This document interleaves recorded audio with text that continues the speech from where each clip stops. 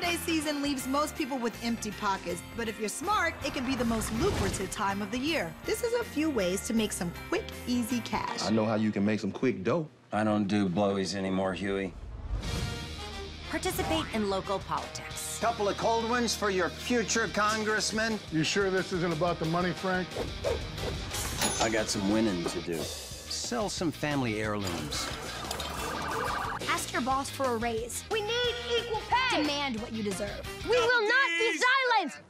Ow, you Get Find two for one deals. And the one spot we have open is all yours. Sorry, did you say one spot? You're both going to nursery school, but you can't ever be in the same room at the same time. Invest wisely. I got 50K in my pocket and I want in. And homemade gifts are always a great personal touch. You're gonna get busted.